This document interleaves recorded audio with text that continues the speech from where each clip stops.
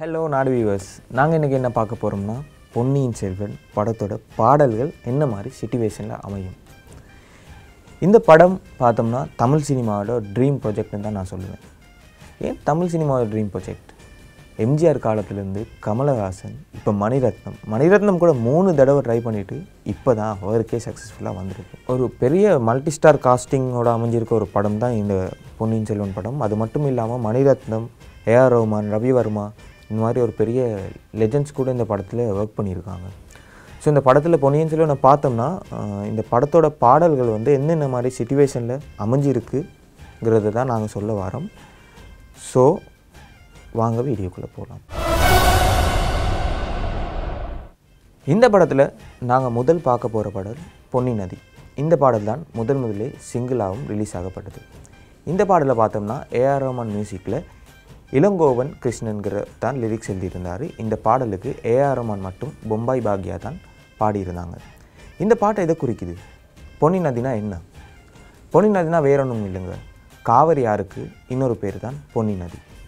பொன்னி நதி பாட்டு எப்படி ஏதான சுச்சுவேஷனில் அமையுதுன்னா காஞ்சிபுரத்திலிருந்து தஞ்சாவூருக்கு வந்தியத்தேவன் தன்னோட குதிரையில் பயணம் செஞ்சுட்டு இருக்கும்போது சோழ தேசத்துக்குள்ளே என்ட்ரி ஆனதுக்கப்புறம் சோழ தேசத்தோட செழிப்பையும் அழகையும் அங்கே இருக்க பெண்களையும் பார்த்து பாடுற ஒரு பாடல் தான் இந்த பொன்னி நதி பாடல்.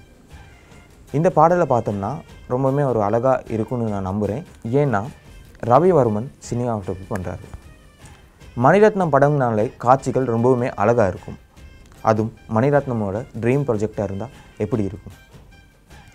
கார்த்தியோட கிண்டல் நையாண்டியும் அவர் அந்த பெண்களை ரசிக்கிற விதமும் இயற்கையை ரசிக்கிற விதமும் ரொம்ப அழகாகவும் காட்டியிருப்பாங்கன்னு நினைக்கிறேன். லிரிக்ஸ் வீடியோவை பார்த்தோம்னா ஒரு சில ஸ்டில்ஸ் இருக்கும். கார்த்தி நடனமாடுற ஸ்டில்ஸ் எல்லாம் இருக்கும். பார்க்க எனக்கு ரொம்பவுமே பிடிச்சிருந்துச்சு. இது ஒரு புத்தகமாக இருந்தாலும் இதை ஒருத்தர் கற்பனையாக தன்னோட கற்பனைகளை சேர்த்து கொடுக்கும்போது இன்னும் அழகாக இருக்குன்னு நான் நம்புகிறேன் ஸோ பொன்னி நதி பாட்டு வந்தோன்னே இந்த மாதிரி ஒரு சுச்சுவேஷனில் தான் அமையும். அண்ட் இதுதான் படத்தோட இன்ட்ரோ சாங்காகவும் இருக்கும். இப்போ நாங்கள் அடுத்த பார்க்க போகிற பாடல் என்னென்னா சோலா சோலா. இந்த பாடல் ஆதித்ய கரிகாலனை பேஸ் பண்ணியிருக்க ஒரு பாடல் தான். இந்த பாடலுக்கு ஒரு லீட் டீசர்லேயே இருக்குங்க. இந்த கல்லும் பாட்டும் இரத்தமும் போர்க்களமும் எல்லாமே அதை மறக்கத்தான். அவளை மறக்கத்தான்னு ஒரு டயலாக் வந்திருக்கும். ஸோ இந்த டைலாக்கோட முழு நீல வேர்ஷன் தான் இந்த சோலா சோலா பாடல். இந்த சோங்கோட சிச்சுவேஷன் எப்படி அமைஞ்சிருக்கும்னா ஒரு பெரிய போர் அந்த போரை அவங்களோட கங்கையை ஜெயிக்கிறாங்க. அதுக்கப்புறம் அந்த வெற்றியை கொண்டாடுறதுக்காக கல் குடித்து ஆடலும் பாடலும் சேர்ந்து ஆதித்ய கரிகாலனான தன்னோட மன்னனை புகழ்ந்து பாடுறாங்க. இதுக்கு எதிர்பாட்டு ஆதித்ய கரிகாலன் பாடுறாரு. ஸோ இந்த எதிர்பாட்டில் என்ன இருக்குன்னா அவரோட மனசில் இருக்க வேதனைகள் குமுறல்கள் எல்லாத்தையுமே இந்த எதிர்பாட்டில் அவர் வெளிப்படுத்துவார். இந்த பாட்டிலேருந்து நமக்கு என்ன தெரிஞ்சுக்கணும்னா ஆதித்ய கரிகாலன் அந்த கேரக்டர் என்ன மாதிரியான கேரக்டர் அந்த கேரக்டர் இந்த கதையில் என்ன மாதிரியான டெப்த்தை உண்டாக்குகிறதுக்குன்னு தான் இந்த சோலா சோலா பாட்டில் இருக்கும். உண்மையை சொல்ல போனால் ஸ்டோரி படி இப்படி ஒரு பாட்டு இருக்காது. பட் இது ஆதித்ய கரிகாலனை காட்டுறதுக்கான ஒரு டைம்னால ஸோ இந்த பாட்டை மணிரத்னம் வச்சுருப்பார். விக்ரமோட ஸ்க்ரீன் பர்சன் எல்லாருக்குமே தெரியும். அதுவும் மணிரத்னம் விக்ரம்னு சேர்ந்தாலே எப்படி இருக்கும்னு யோசிச்சு பாருங்கள் ரொம்பவுமே ஒரு அழகான பாட்டு. எனக்கு ரொம்பவுமே பிடிச்சிருக்கும். ஃபஸ்ட் டைம் கேட்கும்போது எங்களுக்கு ஒரு மாதிரி இருந்தாலும் அதுக்கப்புறம் கேட்க கேட்க ரொம்பவுமே பிடிச்ச ஒரு பாட்டு தான் இந்த சோலா சோலா பாட்டு. அடுத்தது அங்கே பார்க்க போகிற பாட்டு என்னென்னா ரொம்பவுமே இன்ட்ரெஸ்டிங்கான எனக்கு ரொம்பவுமே பிடிச்ச ஒரு பாட்டு தான் இந்த பாட்டு ராட்சஸ் மாமணி. இந்த பாட்டை பார்த்தோம்னா ஒரு ஆடுபுலி ஆட்டம் வைப்பில் தான் இந்த பாட்டு இருக்கும் படத்தில். ஏன்னா இதில் ஒரு வேஷம் போட்டு அந்த வேஷத்துலேருந்து தப்பிச்சு போகிற மாதிரி ஒரு சுச்சுவேஷன் தான் இதில் அமைஞ்சிருக்கும். வந்தியத்தேவனை ஒரு சுச்சுவேஷனில் சின்ன பழுவேட்டையரையரோட ஆட்கள் வந்து துரத்திட்டு வந்துடுவாங்க ஸோ துரத்திட்டு வரும்போது அவர் தப்பிக்கணுங்கிறதுக்காக பழையாறுங்கிற ஒரு அரண்மனைக்குள்ளே பூந்துருவார். இங்கே வந்து தப்பிக்கலாம்னு நினச்சிட்டு வந்தவர் இல்லை அங்கேயும் தப்பிக்க முடியாத ஒரு சூழ்நிலை வரும். ஏன்னா சின்ன பழுவேட்டை ஐயரோட ஆட்கள் வந்து இங்கேயும் இப்படி ஒருத்தர் வந்திருக்கான்னு ஊரெல்லாம் பரப்பிடுவாங்க. ஸோ அதால் தப்பிக்கணும். தப்பிக்கிறதுக்கு என்ன செய்யலாம்னு யோசிச்சுட்டு இருக்கும்போது தான் பழைய அறையில் கிருஷ்ண ஜெயந்தி நடந்துகிட்டு இருக்கும். ஸோ கிருஷ்ண ஜெயந்தினாலே ஒரு அரண்மனையில் நடக்கும்போது ரொம்ப கொண்டாட்டமாக தான் இருக்கும். பஜனைகள் கூத்துக்கள் ஆடலும் பாடலும் இந்த மாதிரி நிகழ்ச்சி தெருவோரம் எல்லாம் நடந்துக்கிட்டே தான் இருந்தது இந்த டைமில் அவர் தப்பிக்கணும். தப்பிக்கிறதுக்கு என்ன பண்ணலாம்? அப்படிங்கிற டைமில் தான் இவர் ஒரு வேஷம் போடுவோம் அப்படின்னு யோசிப்பார். அதுக்கு என்ன பண்ணலாம்? ஒரு நாடக கும்பல் அந்த கும்பலுக்குள்ளே போயிட்டு அந்த கும்பலுக்கே தெரியாமல் ஒரு கம்சன்கிற ஒரு வேஷத்தை போட்டுவார்.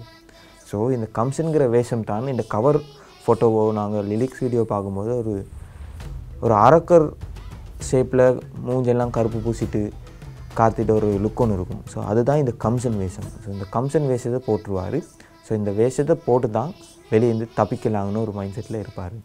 அதுக்கப்புறம் அப்படியே தான் குந்தவையை மீட் பண்ணுவார் ஃபர்ஸ்ட் டைமாக குந்தவையை மீட் பண்ணி குந்தவை அருள்மொழிவர்மனுக்கு இந்த ஓலைச்சுவடியை வந்தியத்தேவன் ஸ்ரீலங்காவுக்கு போயிட்டு கொடுக்கணுங்கிற ஒரு கட்டளையும் விடுவாங்க.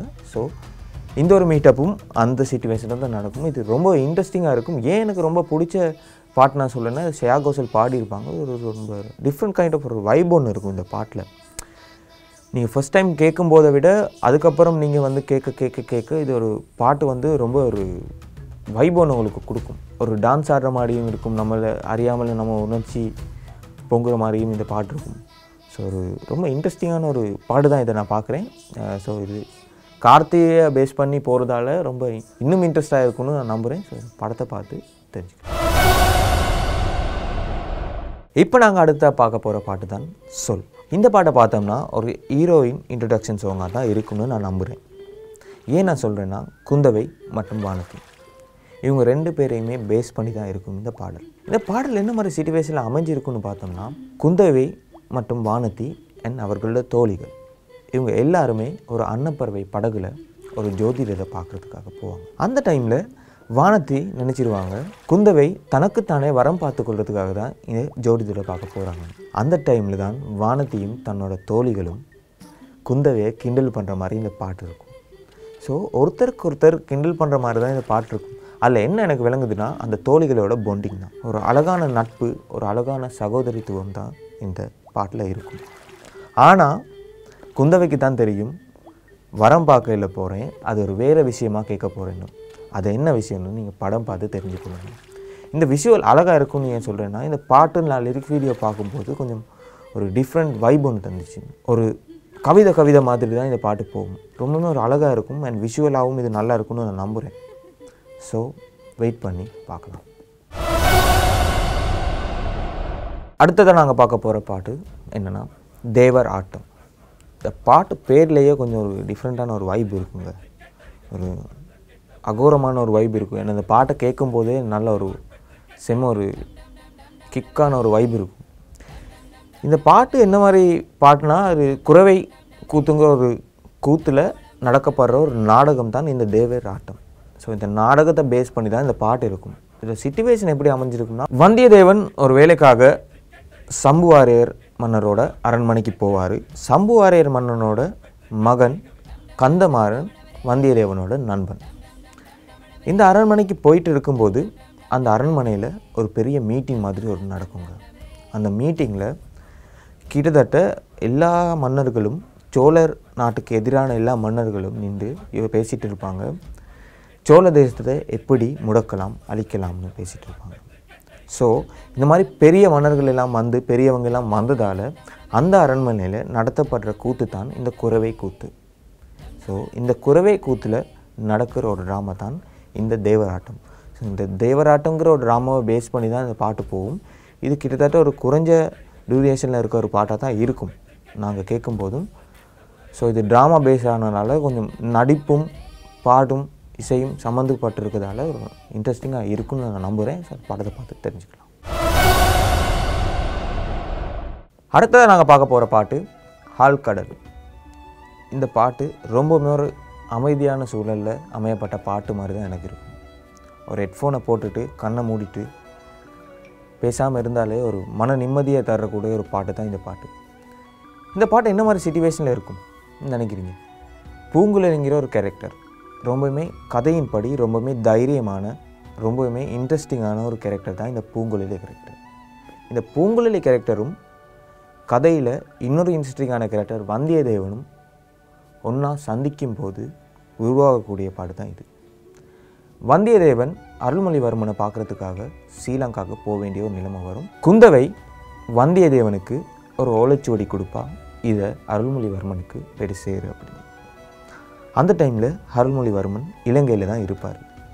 ஸோ தஞ்சையில் இருந்து இலங்கைக்கு இந்த ஓலைச்சுவடியை வந்தியத்தேவன் எடுத்துகிட்டு போகணும் எடுத்துகிட்டு போகும்போது தமிழ்நாடு பார்டருக்கு வந்துடுவார் அப்புறம் அங்கேருந்து ஒரு கடல் தான் தாண்டணும். அந்த ஒரு கடல் தாண்டும்போது கோடிக்கரைக்கிற இடத்துலேருந்து தான் இலங்கைக்கு படகு மூலமாக இல்லாட்டி கப்பல் மூலமாக தான் போகலாம். அந்த மாதிரி சுச்சுவேஷனில் தான் இந்த பூங்குழலியை வந்தியத்தேவன் சந்திக்கிறான். இந்த பூங்குழலி தான் வந்தியத்தேவனை கப்பலில் ஏற்றிட்டு இலங்கையில் போயிட்டு விடுறான். இதே மாதிரி அருள்மொழிவர்மனையும் அடிக்கடி கப்பலில் ஏற்றிட்டு போயிட்டு இலங்கை கரையில் விடுறது தான் பூங்குழலியோட வேலை. இன்ட்ரெஸ்டிங்கான விஷயம் என்னென்னா அருள்மொழிவர்மனுக்கும் இந்த பூங்குழலி மேலே ஒரு கண் இருக்கும் ஒரு இன்ட்ரெஸ்ட் இருக்கும் புதுமையாக இருக்காளே அப்படிங்கிறது. சேம் டைம் பூங்குழலி மேலேயும் பூங்குழலிக்கும் அருள்மொழி மேலேயும் ஒரு இன்ட்ரெஸ்டிங்கான ஒரு பொண்டு இருக்கும். பட் அதை அவங்க ஸ்டோரி படி என்றைக்குமே வெளிக்காட்டினதில்லை. இவங்க போகும்போது இந்த கடல் பயணம் இருக்குது தானே இந்த கடல் பயணமில் நடக்கிறது தான் இந்த பாட்டு. பூங்குழலியோட மனசில் இருக்க பாரம் சோகம் கவலை சந்தோஷம் எல்லாம் தாங்க இந்த பாட்டு. ஒரு ஆழ்கடலில் ஒரு பெண் குரலில் பாடும்போது எப்படி இருக்கும்? ஸோ படத்தில் ரவிவர்மன் அண்ட் மணிரத்னமோட விஷுவலாக பார்த்து தெரிஞ்சுக்கலாம் இந்த பாடலுக்கு அமைஞ்ச சுச்சுவேஷனை பார்த்தீங்க. ஸோ இப்போ படத்தை பார்க்கறதுக்கான டைம் செப்டம்பர் முப்பது எப்போ வரும்னு நானுமே வெயிட் பண்ணிகிட்டு இருக்கேன். ஏன்னா லெஜண்ட் மணிரத்னமோட விஷன் எப்படி இருக்குன்னு நான் பார்க்கணும். ஏன்னா அவரோட ட்ரீம் ப்ராஜெக்டாக இது ஸோ இந்த கதையை வாசித்த ஒரு சிலருக்கு ஒரு வேறு பெர்ஸ்பெக்டிவ் இருக்கும். ஸோ இந்த கதையை பார்க்க போகிற ஒரு சிலருக்கு இந்த கதை இப்படி தான் இருக்கும்னு சொல்லி அவங்க ஒரு மைண்ட் செட் இருப்பாங்க. ஸோ நாங்கள் ரெண்டையுமே குழப்பிக்காமல் இது மணிரத்னமோட விஷன்னு பார்க்க போனோம்னா ரொம்ப நல்லா இருக்கும்னு நான் நம்புகிறேன் ஸோ இந்த படத்துக்கு நானும் வெயிட் பண்ணுறேன் நீங்களும் வெயிட் பண்ணுவீங்கன்னு நம்புகிறேன் இந்த மாதிரி நிறையா சினிமா சுவாரஸ்யமான தகவல்களை உங்களுக்கு உடனுக்குடன் வழங்குவோம். தொடர்ந்து நாடி சேனலை லைக் பண்ணுங்கள் ஷேர் பண்ணுங்கள் கமெண்ட் பண்ணுங்கள் அது மட்டும் இல்லாமல் சப்ஸ்கிரைப் பண்ணுங்கள் அந்த பெல் பட்டனையும் கிளிக் பண்ணுங்கள்